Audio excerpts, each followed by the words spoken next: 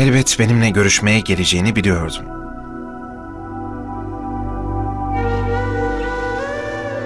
Ferhat, beni bir kere dinle. Şimdi değil. Şimdi karşımda öylece dur lütfen.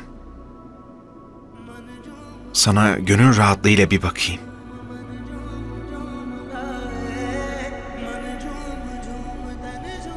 Karşımdaki kişinin sen olduğuna bir inanayım. Mahisin değil mi?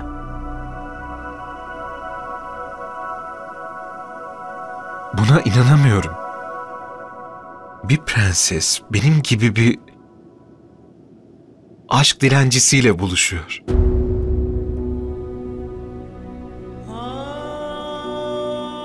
Dualarımın böyle güçlü olduğunu bilmiyordum. Yanlış düşünüyorsun.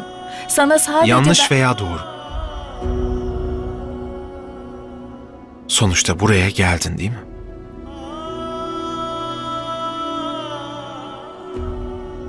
Mecbur kaldım. Çünkü sen inat ettin. Anlaman gerekiyor. Bu evlilik benim seçimim. Şimdi bak, ben senin istediğini yaptım. Sen de beni dinleyeceksin artık. Çok şanslıyım. İnadı dünyaya diz çöktüren kız benim inadımı kırmaya gelmiş demek. Neden beni anlamıyorsun Ferhat? Sen aklını mı kaçırdın? Başka biriyle evlenip birkaç gün içinde buradan gideceğim. Ama seni burada perişan bir halde bırakmak istemiyorum işte. Allah aşkına git buradan Ferhat. İşlemediğim bir suç için beni kötü hissettirme artık lütfen. Küçük bir hatam için beni böyle cezalandıramazsın. Senin işlediğin suçlar umurumda değil. Ben aşkı önemsiyorum. İçinde sakladığın o aşkı.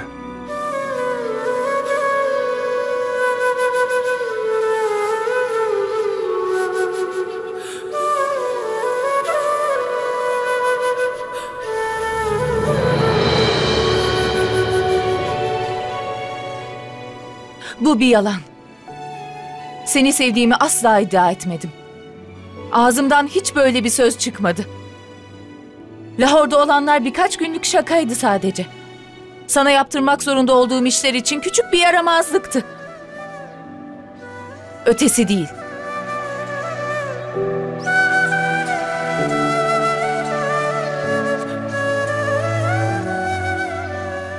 Ama hayretler içindeyim. O birkaç günlük oyuna nasıl inandın gerçekten anlamıyorum. Buraya kadar geldin bir de.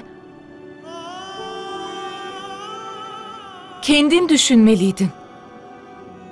Eğer seninle ilgilenseydim, seninle görüşürdüm. Bir şey derdim. Hem de dönmeden önce. Ferhat bu yanlış anlamadan çık. Her şeyi net göreceksin o zaman.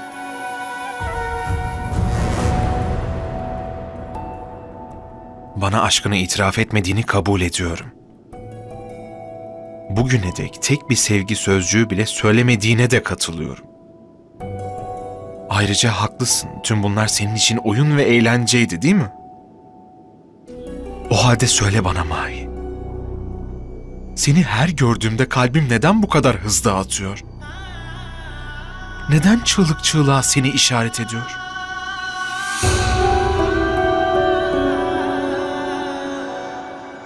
Neden bugün bile gözlerinde, sözlerine destek göremiyorum? Bir kere bile olsa neden gözlerimin içine bakamıyorsun? Ve kalbinde seni mahveden bir fırtına olduğunu bana dürüstçe itiraf edemiyorsun.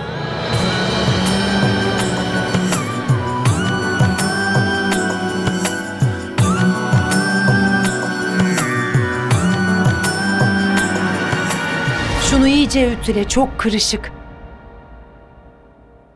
Mahi? Hadi ama. Şuna bak.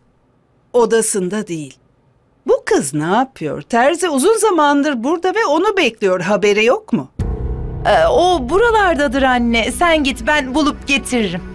Her yere baktım. Çalışma odasında da yok. Fakira da kayıp. Yapılacak binlerce iş var. O, o şey aa, Fakira ile bahçeye çıkmış olabilir. Bana düğün için heyecanlı olduğunu söyledi. Gidip onu bulayım ben. Tamam ama onu hemen getirin ha? Tamam. Ben şimdi bunu nasıl halledeceğim?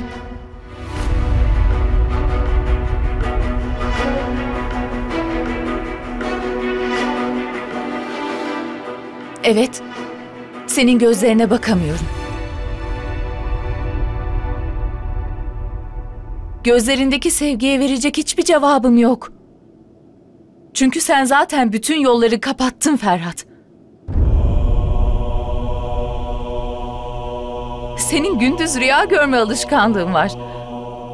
Ve ben bu sahte rüyaların bir parçası olamam. Rüya mı görüyorum yani? Rüyalarım yalan mı peki? Evet. Hepsi yalan. Hepsini kendin yaratıyorsun.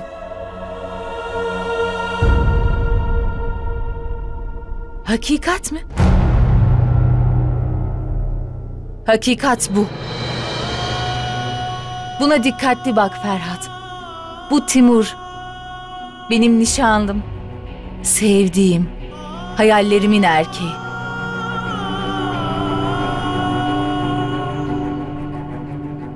Birkaç gün içinde onunla evleneceğiz.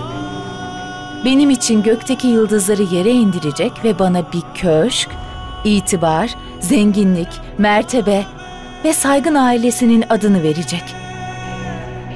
Söylesene. Buna karşın sen bana neler verebilirsin? Kalbimi.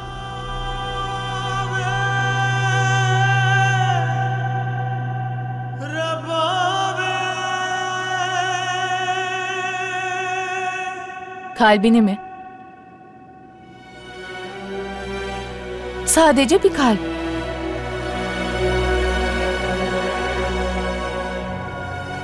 Bu kalbe kimin ihtiyacı var Ferhat? Etrafımda binlerce kalp çarpıyor. Bu duygular bedavaya satılıyor.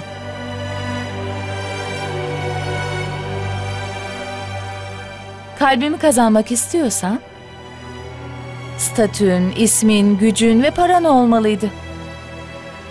Bu zavallı işe yaramaz kalbi ne yapacağım ben? Eğer benim gibi zengin kızlar bu duygusal ve güzel sözler için kalplerini satmış olsalardı, Allah bilir kırık dökük evlerde çalışarak çaresizlikten ölecektik. Neyse ki bu sözlere inanmıyoruz ama. Lütfen benim mertebemi, statümü anlamaya çalış. Sonra da kendine bak. Bir karar ver. Sen bana değer misin? Kendini benim yerime koy. Ve bir düşün. Bir tarafta Timur. Diğer tarafta da sen. Her şeyi anlayacaksın.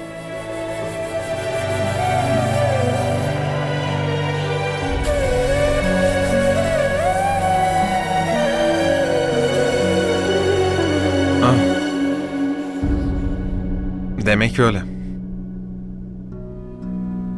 O zaman gerçekten benim tozdan kalbimin senin bu altın terazinde yeri yok. Ve sen en az zenginliğin kadar bencil birisin. Haklısın Mahi. Seni iyi tanıyamadım.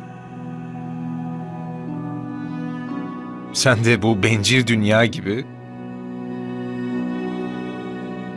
bencil ve zengin bir kızmışsın. Neden bilmiyorum ama bu masum kalbim senin için gerçekten acı çekmişti.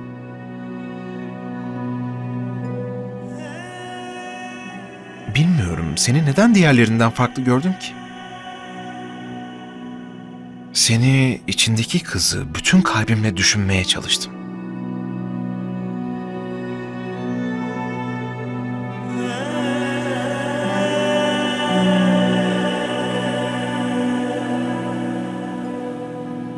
Unutmuşum. Bu yüksek kalelerde yaşayan insanların kalpleri sadece altın ve gümüş için atar. Onlar neden aşka önem versinler ki? Ama iyi iş çıkardım. Seni tanımamı sağladın.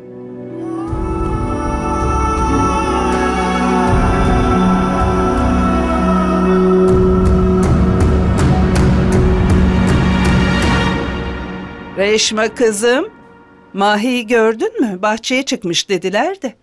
Küçük hanım sanırım eski kütüphaneye gitti efendim. Sabah orayı açtırdı ve fakireyi oraya göndermemi söyledi. Aa, bu kız o eski kütüphanede ne arıyor hiç bilmiyorum gerçekten. Onu çağırayım mı? Evet çağır. Terzinin burada olduğunu söyle de hemen buraya gelsin. Dinle. E, sen çağırırsan gelmez belki. Ben kendim giderim. Peki.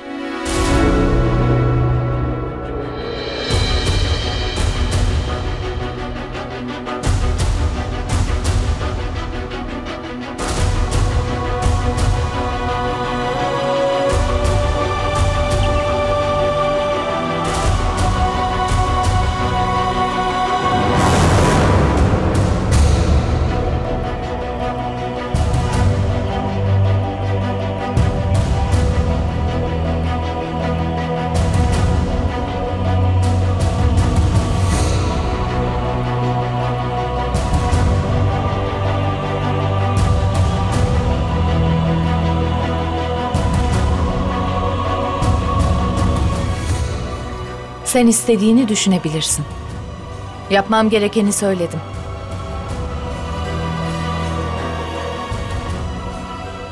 Buradan gideceğim Mahi.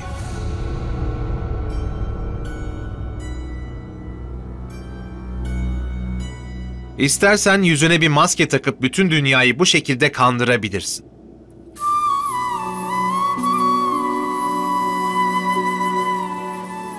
Ama bir şeyi unutma.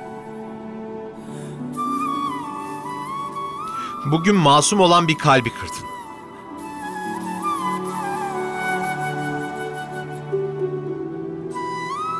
Ve hayatın boyunca bu kırık kalbin sesini duyacaksın.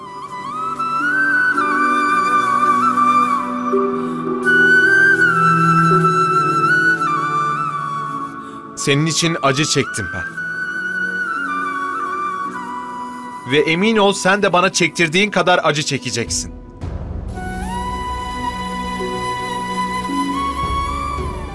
Benim kalbimle kötü bir oyun oynadın.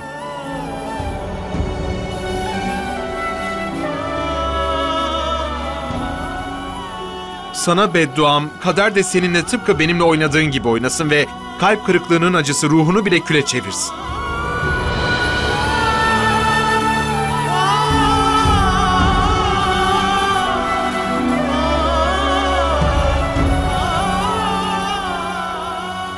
Acı çekeceksin ve ömür boyu huzur bulamayacaksın.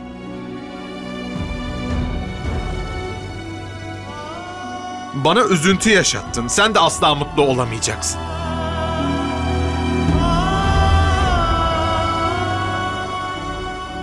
Benim yaralarım gibi yaralarını saracak hiç kimse bulamayacaksın.